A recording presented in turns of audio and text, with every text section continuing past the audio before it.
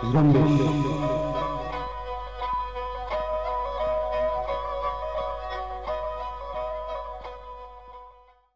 Radio जुम्बिश उर्दू की आवाज़ है।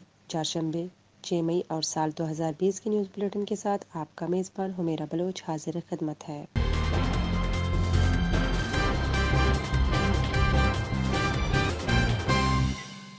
केच में काबिज पाकिस्तानी फोर्सेस पर नामालूम अफराद का हमला, हमलावर फरार हो गए। अवारन में काबिज पाकिस्तानी फोर्सेस का ज़मीनी और फ़िज़ाई ऑपरेशन जारी है।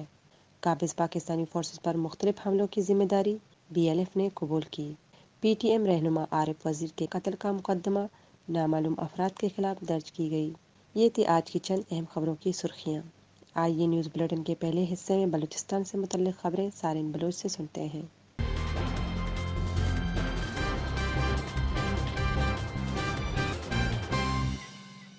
केच में नामालूम मसल अफराद ने काबिज पाकिस्तानी फोर्सेस की चौकी पर हमला किया है। हमला केच के इलाके मंद में चुकाब के मकाम पर किया गया। इस हमले में फोर्सेस की चौकी को छोटे और बड़े हथियारों से निशाना बनाया गया है।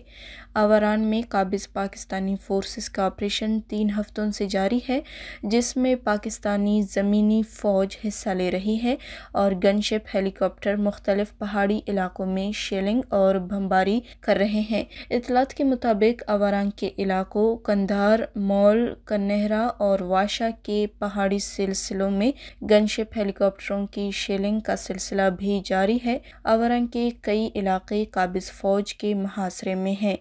बलूचिस्तान लिब्रेशन फ्रंट के तर्जुमान मेजर गोहरम बलूच ने अवरान में फ़ौजी चौकी और केच में पाकिस्तानी फ़ौज को सामान सप्लाई करने वाले दो ट्रकों पर हमलों की ज़िम्मेदारी कबूल करते हुए कहा है कि अवरान के इलाके ज़्यारत डन में पाकिस्तानी फ़ौज के चौकी पर सरमचारों ने पीर की शाम स्नाइपर राइफ़ल और रॉकेटों से हमला करके चार एहलकारों को हलाक और मुतद को ज़ख्मी किया।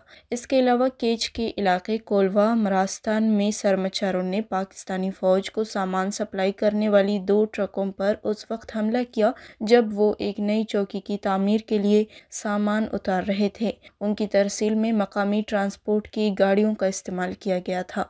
बलोच होने के नाते ड्राइवरों और गाड़ियों को छोड़ दिया गया। और लदे हुए तमाम सामान को नज़र आतिश किया। गौराम बलोच ने मकामी ट्रांसपोर्टर्स को तंबी की है कि वो बलोच नस्ल कशी में मसरूफ़ पाकिस्तानी फ़ौज की किसी भी सरगर्मी में हिस्सा न लें। स्वीडन में लापता होने के बाद पुरस्रार हालात में मरने वाले बलूच सहाफ़ी साजिद हुसैन की मौत की तहकीक करने वाले पुलिस ऑफिसर ने रेडियो जुम्बिश की तरफ़ से पूछे गए एक ईमेल के जवाब में कहा है कि साजिद हुसैन के बारे में अभी तक पुलिस नहीं जानती कि उनकी मौत किन हालात में हुई है। जुम्बिश की तरफ़ से उन्हें अरसाल किए गए एक ईमेल में उनसे पूछा गया था कि पाकिस्तानी मीडिया में ये खबर चलाई गई थी कि साजिद हुसैन की मौत हादसाती थी या हो सकता है उन्होंने ख़ुद अपनी ज़िंदगी का ख़ात्मा किया हो। जुम्बिश के सवाल का उन्होंने यही मुख्तर जवाब दिया कि उनके पास इस वक्त ऐसी कोई मालूम नहीं जो वो मीडिया को फराहम कर सकें। बलूच नेशनल मूवमेंट के रहनमा मोहम्मद यूसुफ बलोच ने साजिद हुसैन बलोच को खराज अकीदत पेश करते हुए कहा है कि हम शहादत की मनसब पर फायज होते हैं, मगर कब्ज़ा गिर, दहशत गर्द रियासत के सामने झुकते नहीं। उनका कहना था कि साजिद हुसैन ये जान चुका था कि इस राह की अंजाम बस एक ही है और वो अंजाम मर्ग शहादत या रियासती टॉर्चर सेलों की कैदोबंद है। मगर साजिद हुसैन ने अपने पेशरों की तरह दुश्मन का मुकाबला जवान मर्दी और कलम की ताकत से करते हुए शहादत के अजीम रतबा पे फायज हुआ। बी एन एम के सबक secretary general Rahim Baloch advocate ने अपने एक ट्वीट में सहाफ़ियों की आलमी तंजीम रिपोर्टर्स विदाउट बॉर्डर्स के ब्रसल्स दफ्तर के सरबरा स्वीडन के वज़ी अजम और अमर खारजा की वजारत को मुखातिब करते हुए कहा है कि पाकिस्तान के सबक सदर और पाकिस्तान आर्मी के सबक सरबरा जनरल परवेज़ मुशर्रफ ने माजी करीब में अपने एक इंटरव्यू में बलोच और दूसरे उन मुखालफी को कत्ल करने की तजवीज़ दिया था, जो बैरून मुल्क मुकीम है। लिहाजा स्वीडन की हुकूमत को चाहिए कि वो साजिद कत्ल केस की इस जाविया से भी लाजमी तौर पर तफ्तीश करे। बलूचिस्तान नेशनल पार्टी के एक मरकज़ी बयान में स्वीडन में बलोच सहाफ़ी साजिद बलोच और पी टी एम के रहनमा आरिफ वज़ीर पर हमले की शदीद अल्फाज में मजम्मत करते हुए कहा गया है कि इन वाक़ात की शफाफ तहकीक़त की जाए। जो लोग इन दोनों वाक़ात में मुलविस हैं, उन्हें बेनकाब करके कैफर किरदार तक पहुँचाया जाए। खुजदार लेवीज़ फोर्स ने बड़ी कार्रवाई करते हुए करोड़ों रुपए की मंशियात स्मगलिंग करने की कोशिश नाकाम बनाकर बड़ी कीमत के हामिल हीरोइन क्रिस्टल और अफ्यून बरामद और एक मुलजिम को गिरफ़्तार कर लिया है। मस्तुंग में खडकोचा के मकाम पर दो मुख्तलिफ़ हादसा में एक बच्ची समेत तीन अफराद जख्मी हुए। शेरानी में पहाड़ी से गिर कर एक शख्स हलाक हुआ। पंजगुर के इलाके तस्प में फायरिंग से एक शख्स ज़ख्मी हुआ है। हब में दो मुख्तलिफ़ वाक़ात में दो अफराद हलाक और दो ज़ख्मी हुए हैं। कोयटा में सब्जल रोड पर फायरिंग से एक शख्स हलाक हुआ है।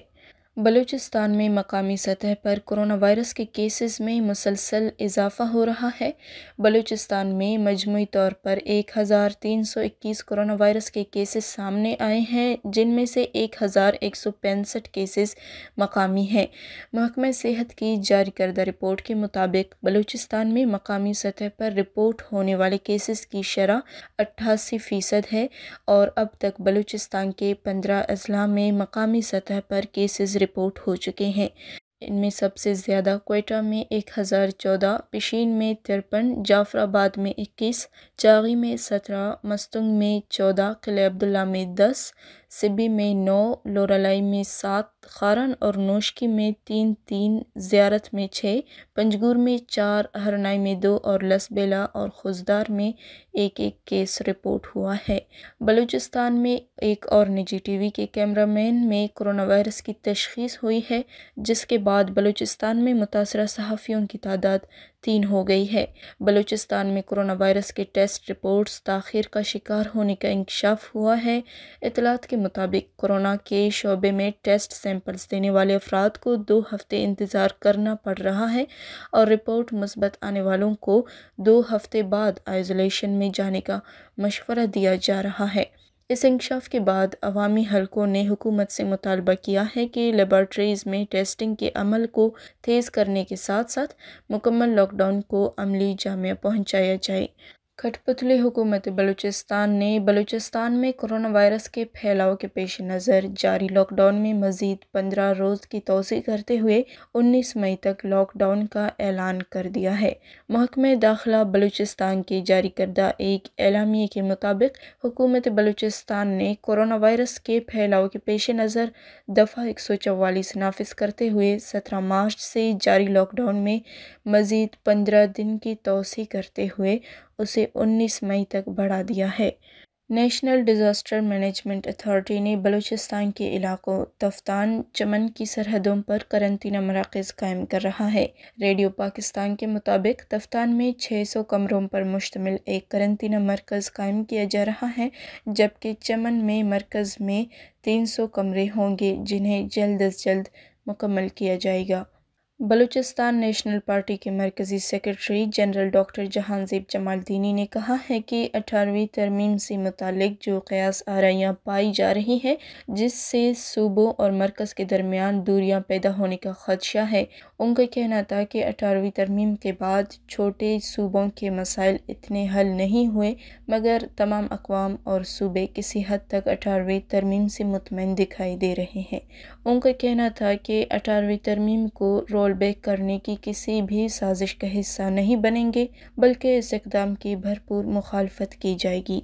नेशनल पार्टी के सूबाई सदर अब्दुल खालिक बलोच ने एक बयान में खुजदार के अली तलीमी इदारों को बंद करने की हुकूमती मनफी सोच व पॉलिसी की शदीद मजम्मत करते हुए कहा है कि समाज और कौमों की तरक्की व खुशहाली का दार मदार मैारी तलीमी दरसगाहों और तमीरी निसाब के मरहून मिन्नत होता है। उनका कहना था कि मौजूदा हुकूमत की तरफ़ से Sardar Bahadur Khan women university Khuzdar campus और vocational educational women college Khuzdar को बंद करने की पॉलिसी तालीम दुश्मन इकदाम है, जो किसी तौर पर काबिल कबूल नहीं।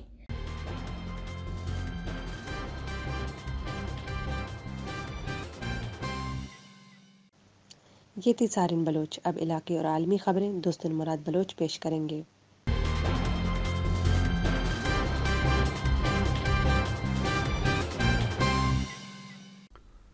बंदोबस्ती पाकिस्तान खैबर पख्तूनख्वा के ज़िले लोअर कुरम के इलाके शोरक्की में धमाके में एक शख्स ज़ख्मी हो गया है। पुलिस के मुताबिक धमाके के नतीजे में ज़ख्मी होने वाला शख्स इमाम बारगा की निगरानी पर मामूर था। धमाके के नतीजे में इमारत बिल्कुल मुनहदम हो गई है। पंजाब में लाहौर के इलाके थाने फेरोज़वाला के हवालात के बाहर धमाके में एक शख्स हलाक और तीन ज़ख्मी हुए हैं। धमाके की नौीयत का इल्म नहीं हो सका है। पख्तून तहफ़ मूवमेंट के रहनुमा सरदार आरिफ वज़ीर का मुकदमा इंसदादी दहशत गर्दी कवानीन के तहत जनूबी वज़ीरस्तान के मरकज़ी इंतज़ामी शहर वाना में नामालूम अफराद के ख़िलाफ़ दर्ज कर लिया गया है। वाना पुलिस स्टेशन के मुताबिक एफआईआर के इंदराज के बाद पुलिस ने बाकायदा तहकीकात का आगाज़ कर दिया है। ताहम इस हवाले से अभी तक किसी किस्म की गिरफ्तारी अमल में नहीं लाई गई है। पाकिस्तानी हुकूमत ने ईद उल फित्र के बायस हाजिर सर्विस और रिटायर्ड सरकारी मुलाजमीन को मई की तनख्वाह और पेंशन एडवांस में देने का फ़ैसला किया है। जिसके लिए वजारत ख़जाना ने बाकायदा नोटिफिकेशन जारी कर दिया है। पाकिस्तान में इस्लामाबाद हाई कोर्ट ने कहा है कि पाकिस्तान की मौजूदा निज़ाम इंसाफ जराइम को रोकने और उसके ख़िलाफ़ कानूनी कार्रवाई में नाकाम हो गया है, क्योंकि ये निज़ाम इंसाफ की कत्ल का तसलसल और तबाही पर कायम है। पाकिस्तान में मज़ीद 24 अफराद की हलाकत के बाद कोरोना वायरस से मरने वाले अफराद की तादाद चार सौ छियासी हो गई है। पाकिस्तान के national command and operation centre के ताज़ा तरीन आदादुशुमार के मुताबिक गुज्त 24 घंटों के दौरान तेरह सौ पंद्रह नए केसेस रिपोर्ट होने के बाद मुतासरीन की तादाद पहले से बढ़कर इक्कीस हज़ार पाँच सौ एक तक पहुँच गई है।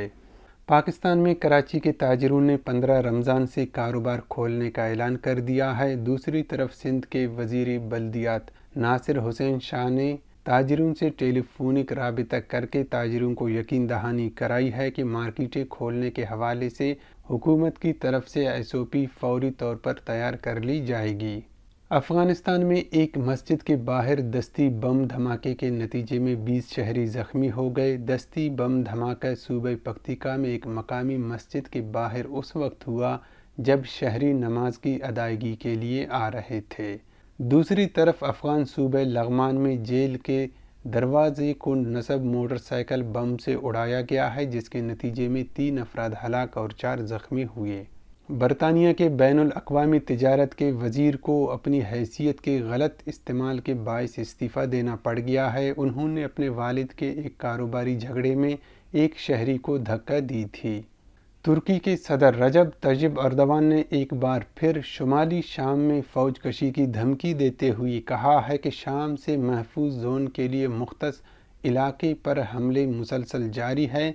हम इससे ज़्यादा तहमुल का मुजाहरा नहीं कर सकते। उन्होंने कहा कि ये हमले माहिदों की खुली खिलाफ वर्जी हैं। लेबनान की शिया मलेशिया हिजबुल्ला के सरबरा हसन नसरुल्ला ने अपनी तंजीम पर जर्मनी के पाबंदी के फैसले की मजम्मत की है और इसको अमेरिका का दबाव करार दे दिया है। उन्होंने ये भी दावा किया है कि उनकी तंजीम जर्मनी में फ़ाल नहीं है। शाम में ज़रा अबलाग ने इंकशाफ किया है कि इसराइली फ़ौज ने शुमाली शहर हलब में एक साइंसी तहकीकी मरकज़ को निशाना बनाया है, जिसके नतीजे में ये साइंसी तहकीकी मरकज़ मुकम्मल तौर पर तबाह हो गई है। अमरीकी वज़ीर खारजा ने कहा है कि चीन जनवरी में तय पाने वाले तजारती माहे के तहत अमरीकी मसनूआत ख़रीदने के अपने वादों का एहतराम करेगा। उन्होंने ख़बरदार किया कि अगर चीन ने अपने वादे पूरे न किए और माहे का एहतराम न किया तो बेजिंग को इसकी भारी कीमत चकाना पड़ सकती है। अमेरिका और अफ्रीकी मुल्क सूडान के दरमियान 23 साल पर मुहित महाज आरई के बाद दोनों मुल्कों के दरमियान सिफारती ताल्लुक बहाल हो गए हैं। सूडान ने अपने सीनियर सिफारतकार नूरुद्दीन साथी को अमेरिका में खरतूम का सफ़ीर मुकर किया है। दुनिया भर में कोरोना वायरस से मुतासर अफराद की मजमू तादाद छत्तीस लाख चौहत्तर हज़ार हो गई है। आलमी सतह पर कोरोना वायरस से हलाकतों की तादाद दो लाख तिरपन हज़ार चार सौ तक पहुँच गई है। हलाकतों की सबसे ज़्यादा तादाद अमरीका में सत्तर हज़ार एक सौ तीस है। कोरोना वायरस से मुतासर बारह लाख बारह हज़ार अफराद सेहत याब भी हो चुके हैं। फ्रांस के एक डॉक्टर ने इंकशाफ किया है कि मुमकिन तौर पर कोरोना वायरस की बीमारी चीन से कबल ही फ्रांस में शुरू हो चुकी थी, या फिर फ्रांस में भी उस वक्त ही शुरू हुई जिस वक्त चीन में शुरू हुई। चीन की एक दवासाज कंपनी ने कोरोना वायरस वैक्सीन से बंदरों पर कामयाब तजुर्बा करने का दावा किया है। चीनी दवासाज कंपनी के मुताबिक जिन बंदरों को वैक्सीन दी गई और फिर उनमें कोरोना वायरस दाखिल किया गया तो उनमें से किसी में भी कोरोना वायरस की अलामत ज़ाहिर नहीं हुई। आलमी इदारा सेहत डब्ल्यू एच ओ ने कहा है कि अमरीका ने अमरीकी सदर के कयास आरई पर मबनी इस दावे की हिमायत में कोई सबूत फराहम नहीं किया है कि कोरोना वायरस चीन के किसी लैब में तैयार हुआ। अमरीकी सदर डोनाल्ड ट्रंप ने दावा किया है कि अमरीका रवां बरस के आखिर तक कोरोना वायरस के इलाज के लिए वैक्सीन तैयार कर लेगा। अकवा मुतहदा के सेक्रेटरी जनरल एंटोनियो गोटरस ने मज़ीद ममालिक से अपील की है कि वो कोरोना वायरस की वैक्सीन के लिए तहकीक और उसकी तकसीम के लिए इमदाद दें। सेक्रेटरी जनरल ने अब तक जमा होने वाली इमदाद पर शुक्रिया अदा करते हुए कहा कि दुनिया भर में वैक्सीन, अद्वियात और दीगर आलात की मुनसिफाना तकसीम के लिए पाँच गुना ज़्यादा रकम दरकार होगी।